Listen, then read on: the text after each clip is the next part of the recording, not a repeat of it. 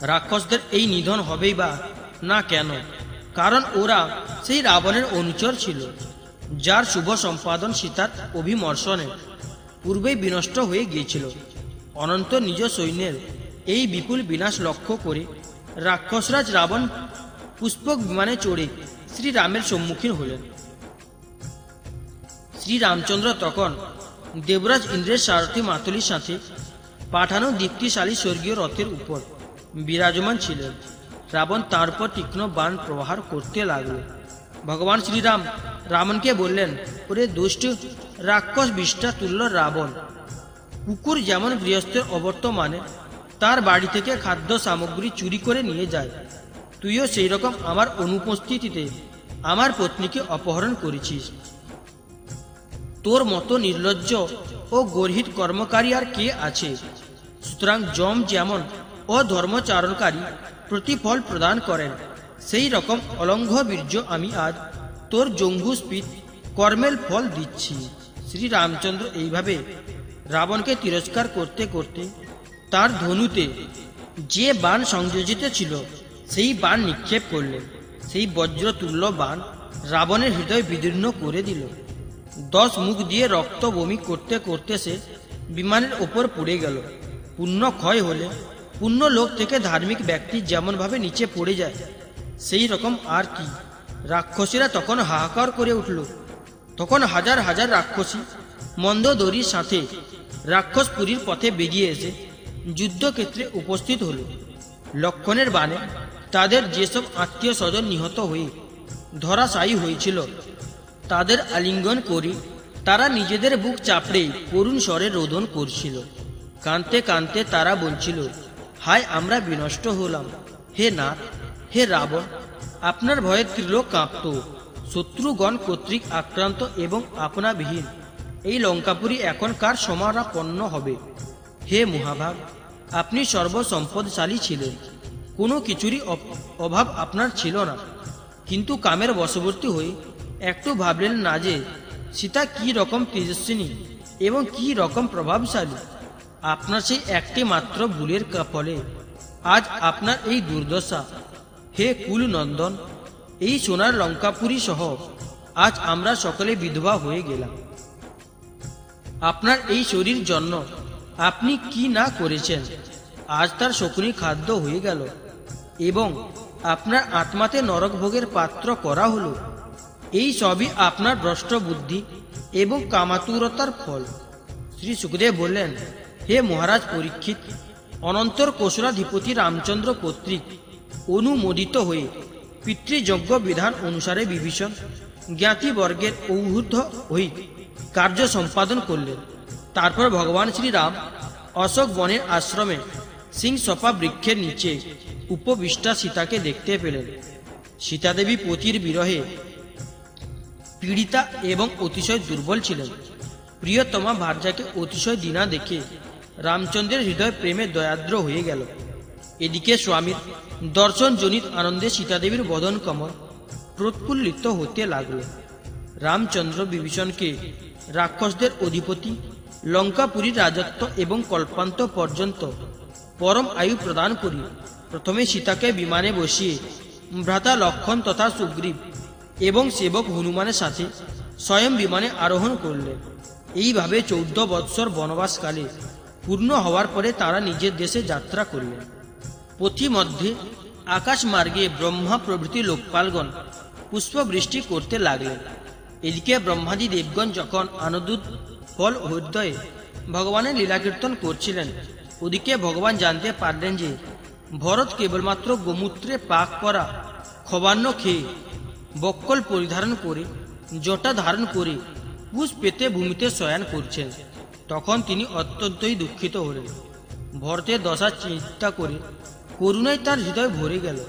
ভরত যখন জানতে পারলেন যে তার বড় ভাই ভগবান শ্রীরাম ফিরে আসছেন, তখন তিনি পুরবাসী, মন্ত্রী ও পুরোহিতদের সঙ্গে ভগবানের পাদুকা মাথায় নিয়ে তাকে অভ্যর্থনা করে আনার জন্য যাত্রা করলেন। ভগবান তখন নন্দীগ্রাম থেকে যাত্রা করলেন। তখন তার সঙ্গী সাথীগণ খোল করতাল বাজনা বাজিয়ে গান কীর্তন করতে করতে তার সাথে চললেন বৈদিক ব্রাহ্মণগণ বারো বারো বেদেন ধ্বনি করতে লাগলেন এবং সেই ধ্বনি চতুর্দিক মুখরিত করতে লাগল। সুসজ্জিত পতাকাবাহীগণ নানা রকম পতাকা বাহন করতে লাগল। সোনায় মোড়া রং বেরং এর বিচিত্র ধ্বজায় সুসজ্জিত রথ, চিত্র বিচিত্র সাজে, সজ্জিত সুন্দর সুন্দর ঘোড়ায় অশ্বারোহী এবং স্বর্ণ কবচ মণ্ডিত। সৈন্য দল তাদের সাথে সাথে চলতে লাগল। বহু বহু শিল্পী, সুন্দরী সুন্দরী, রাবণ নেতাগণ, পাদচারী বৃত্তগণ এবং মহারাজের উপযুক্ত ছোট বড় নানা রকম বস্তু সামগ্রী সেই সঙ্গে চলল। ভগবানকে দেখা মাত্র প্রেম ভরে, ভরতের হৃদয় গদগদ হয়ে গেল। চোখ ভরে জল এলো। তিনি শ্রী রামের পায়ে লুটিয়ে পড়লেন। প্রভুর সামনে তার পাদুকা জোড়া রেখে তিনি যুক্ত করে তার সামনে দাঁড়ালেন। চোখ দিয়ে অশ্রুধারা বয়ে চলছিল। ভগবান রাম নিজের দুহাত দিয়ে বহুক্ষণ ভরতকে বুকে জাবড়িয়ে ধরে রাখলেন। ভগবানের অশ্রুধারায় ভরত স্নান করে উঠলেন। তৎপশ্চাৎ সীতা ও লক্ষণের সাথে ভগবান শ্রীরাম ব্রাহ্মণ ও পূজনীয় গুরুজনদের নমস্কার করলেন। আর সমস্ত প্রজাগণ ভক্তি বিনম্র চিত্তে মাথা নত করে তাকে প্রণাম নিবেদন করল। উত্তর, কৌশল দেশীয় জনগণ বহুকাল ধরে প্রভু শ্রী রামচন্দ্রের দর্শন করে আনন্দে আত্মহারা হয়ে নিজ নিজ উত্তরীয় বসন দুলিয়ে নাচিয়ে উড়িয়ে পুষ্প বর্ষণ করে নাচতে লাগল। রামচন্দ্র যখন অযোধ্যায় প্রবেশ করলেন, তখন ভরত তাঁর পাদুকা যুগল ধারণ করেছিলেন। বিভীষণ ধরেছিলেন শ্রেষ্ঠ চামর সুগ্রীব ব্যাজন এবং হনুমান ধরেছিলেন শ্বেত ছত্র। হে পরীক্ষিত, শত্রুঘ্ন ধরেছিলেন ধনু ও তৃণদয়। সীতার হাতে ছিল তীর্থবাড়ি, পরিপূর্ণ কমণ্ডল। অঙ্গদ সেনার খড়গ এবং জাম্বুবান নিয়েছিলেন ঢাল। এদের সকলের সাথে ভগবান রামচন্দ্র পুষ্পক বিমানে বিরাজমান ছিলেন। যথাস্থানে নারীগণ বসেছিলেন। বন্দিগণ স্তুতি গান কীর্তন করছিল। পুষ্পক বিমানে তখন ভগবানের গ্রহণে পরিবেষ্টিত উদিত চন্দ্রের মতো শোভা হয়েছিল। এইভাবে ভাইয়ের অভিনন্দন স্বীকার করে তিনি তাদের সাথে অযোধ্যা নগরীতে প্রবেশ করেন। সেই নগরী তখন আনন্দ উৎসবে উচ্ছল ছিল। রাজ অন্তপুরে প্রবেশ করে তিনি নিজ মাতা কৌশল্যা কৈকেয়ী প্রভৃতি বিমাতাদের সমবয়স্ক ও কনিষ্ঠদের যথাযোগ্য নমস্কার সম্বোধন ও আশীর্বাদ করেন। এবং তাদের দ্বারাও যথোপযুক্ত সম্মান গ্রহণ করলেন। সীতাদেবী ও লক্ষণ ও ভগবানের সাথে সাথে সকলের প্রতি যথাযোগ্য ব্যবহার করলেন। প্রাণ ফিরে পেলেও দেহ যেমন উৎক্ষিত হয়, ছেলেদের পেয়ে মায়েরাও তেমনি হর্ষিত হয়ে উঠেছিলেন। তারা ছেলেদের কোলে বসিয়ে অশ্রু ধারায় তাদের অভিষিক্ত করলেন। তাদের সমস্ত শোকের অবসান হয়েছিল। এরপর গুরু বশিষ্ঠদেব কুলবৃন্দগণের সাথে একত্র হয়ে বিধি অনুসারে শ্রী রামচন্দ্রের জটা মোচন করিয়ে চতুর্সম্পদ্রের জল ও অন্যান্য দ্রব্যের দ্বারা বৃহস্পতি যেমন ইন্দ্রে অভিষেক করেছিলেন, তার অভিষেক করলেন। এইভাবে জটামুক্ত শিরণনাথ হয়ে ভগবান শ্রীরাম সুন্দর বসন মাল্য ও অলঙ্কার ধারণ করলেন।